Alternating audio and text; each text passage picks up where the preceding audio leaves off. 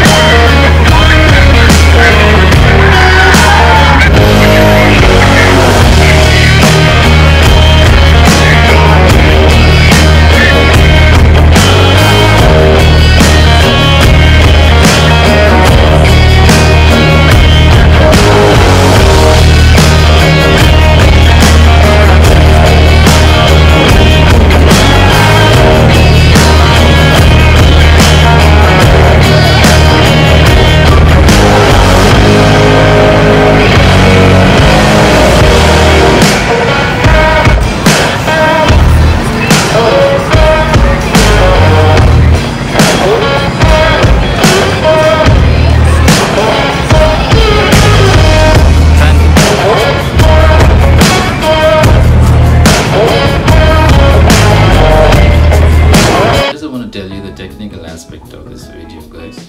Uh, the whole video was taken with my iPhone 11 Pro Max and uh, it has got three cameras as everyone knows and the software which I'm using to record the video is uh, Filmic Pro. It's the best software available in the market. I'm having the Pro version of it.